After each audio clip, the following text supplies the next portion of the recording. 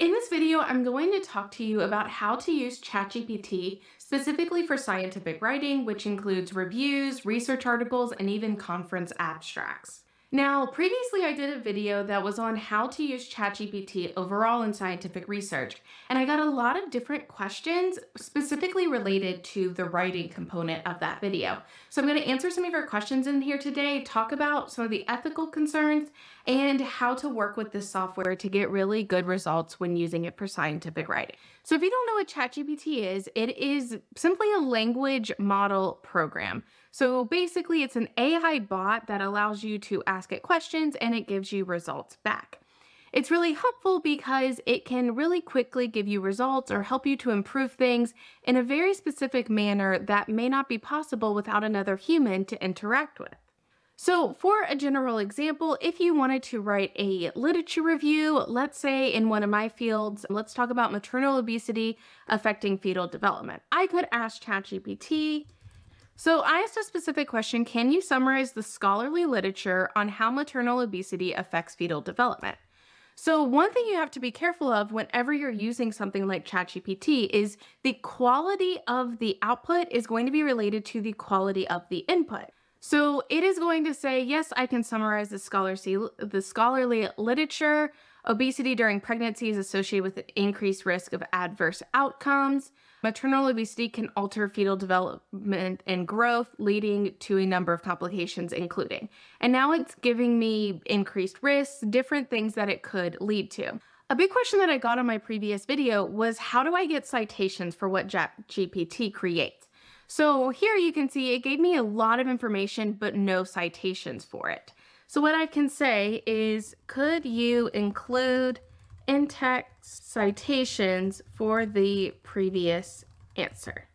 So now it's going to re-give me that answer with now these in-text citations included in. So that's how you simply include in-text citations in to what ChatGPT is giving you. For each one of these potential things that's happening, it's going to now give you a single citation that it pulled that information from. So here you can see is that results. It basically gave me in-text citations and then it will give references down here. Now, if it stops, you can ask it to continue giving the references as well. I'm not going to do that because it takes a lot of time. But basically, that's how you can create in-text citations. Now, the second question that I got asked a lot is can I just use this and publish it, right? Can I just copy something that ChatGPT says and just publish it? And there's going to be two things that I'm going to say on this topic. The very first one is that a lot of journals are actually coming out with guidelines on using AI written material. I think Nature is one example that has said that you cannot include anything written by AI in your journals for publication, they won't be published. So that's one factor is that journals are actually looking for AI written content now, and there's a risk that your paper won't get published just because of the way, just because it was written by AI. The second thing that I will say to this is AI is a starting point. ChatGPT's results are a starting point to what you want to write. AI is not going to be able to write it like a researcher who knows that field can write. It doesn't understand the complexities. It's never sat and collected data. It doesn't understand, and you're not going to write as good of a piece as if you were actually to write it yourself. In fact, if you're someone who's worried that ChatGPT is going to replace researchers, it's going to replace the researchers that are letting it, right? Like if all you're doing is putting prompts into ChatGPT and letting it give you the output, and you want that to be your entire job, why are you in research? Like, you should be interested in this.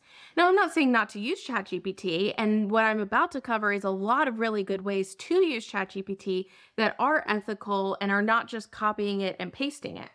But if you literally just want to put in a prompt, have it write a lit review so that you can publish it, you really have to question your motives for being in this career field when that's all you want to do. So, if you are somebody who does want to write it yourself, but you want to get better at writing, you want to be able to get more efficient at writing, let's talk about how to use ChatGPT for that.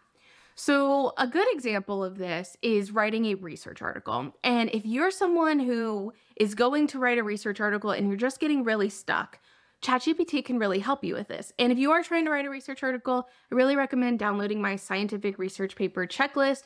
It's just a step by step guide that walks you through how to write it, and you can use ChatGPT for those steps. So, the first step is if I was writing, so let's say I'm writing a scholarly search article on how steroid isomers are separated by ion mobility spectrometry using merization and group 1 metal adduction. So this was my first research paper. Let's say this is what I'm writing on. And I'm going to say I I just don't know what what's my first sentence. I don't know what to write. So I'm going to say could you write an introduction for this paper? So what I'm telling it is what I want my research article to be about. And now I'm saying, okay, what's what's a draft of an introduction that I could have for this paper? So I'm going to let this go ahead and finish. Okay, so this is the introduction it gave me. It gave me a three paragraph introduction. And really, if you look at any of my content on introductions, this is really telling me the background knowledge and a little bit of significance. Like that's what it's giving me right here. It's not giving me the background literature parts of an introduction or anything like that. So already, this is not enough to just copy and paste into your article and get started. So it's giving me these different parts. It's telling me what ion mobility is used for. It's telling me why it's difficult to separate steroids and the recent development. It's talking about what multimerization is in group 1 metal adducts. And then it's talking about the aims, right? The aims of this paper is to do these different things. That's all really helpful. And that's a really, really good example. So now maybe I can come from this and I can say, okay, the first thing I'm going to talk about is ion mobility. Maybe I use something similar to this sentence. Maybe I change it a little bit to make it more specific for what I'm talking about. So it's a widely used analytical technique for detection and identification of compounds.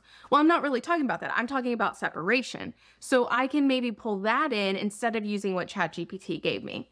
IMS is particularly used for small polar compounds, including steroid isomers. Steroid isomers are actually nonpolar, so you know, like as a chemist, I need to change these things. It's not giving me exactly what I would need to just be able to submit it. And then I could, between this and this, I would talk about steroids. I would go, steroids are compounds that do this. This is why they're interesting to study. And then have, this is challenging because of this. So you can already see I can use ChatGPT as a starting point. If I if I can't figure out how to do step 1, it gives me something to start editing. It gives me something to start working with. And so then I'm able to go through this and create out my introduction where I could have just been stuck before. So that's a really good way to use something like ChatGPT. Another thing is is when you're trying to write the results, so let's write a ask it to write a result section. So what I'm doing is asking it to write a results section. I'm giving it a couple conclusions that we found and letting it kind of fill in the additional information. And then what you can see here is I specifically ask it to write it in third person. You need to be as specific as possible when you want ChatGPT to give you something specific back. So it's giving me a results section. So the first one is dealing with the resolution above one.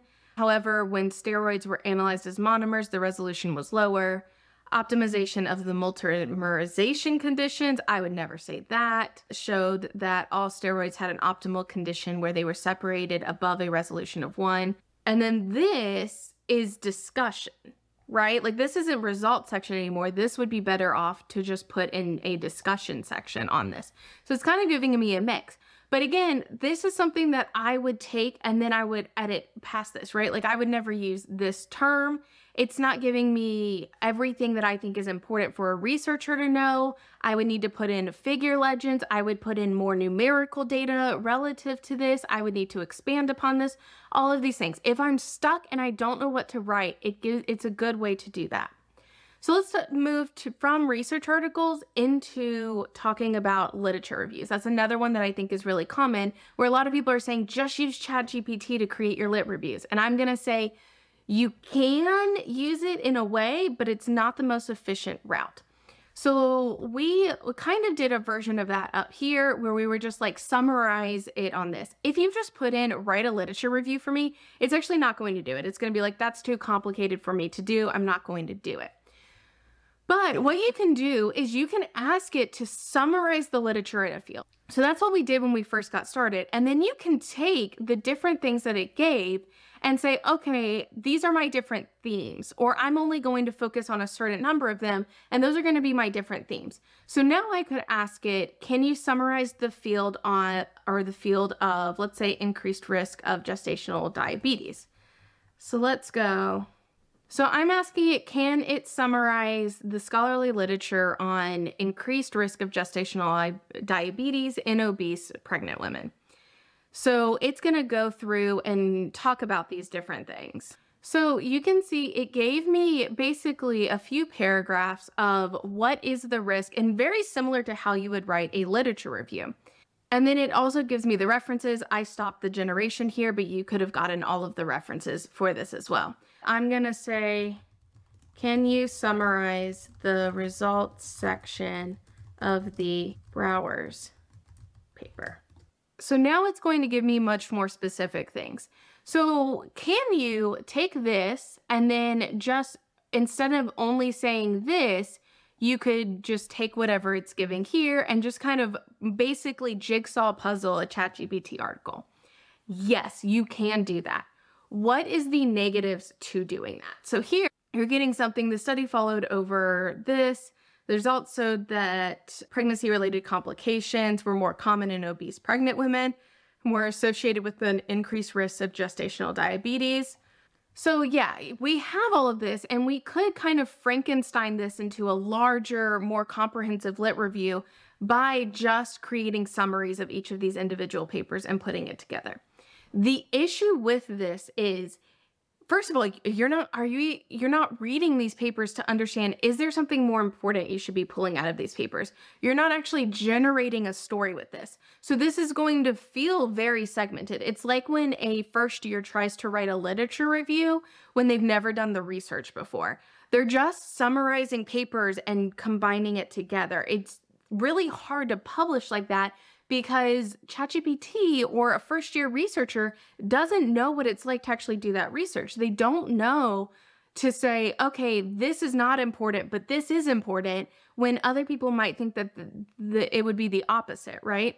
So you can take this, I highly suggest using this to summarize your research papers to get an idea of what's going on in, you know, the literature at the time. What are the different themes that you should discuss? All of that valid ways to use ChatGPT. But once you've done that, you need to really come through what's your storyline? How are you connecting things together? Because if you're not doing that, you're going to have a lot harder time in getting accepted into journals because you're not producing a high quality review. If you're not synthesizing from it, if you can't offer what should be done next, it's not going to be as high quality of a review because essentially whatever they're going to that paper to, that person could come to ChatGPT and just say, "What is this?" The value in lit reviews now that you have something like ChatGPT is going to be the value in the researcher's advice and knowledge being injected into the combination of literature reviews, not just the summarization of literature reviews.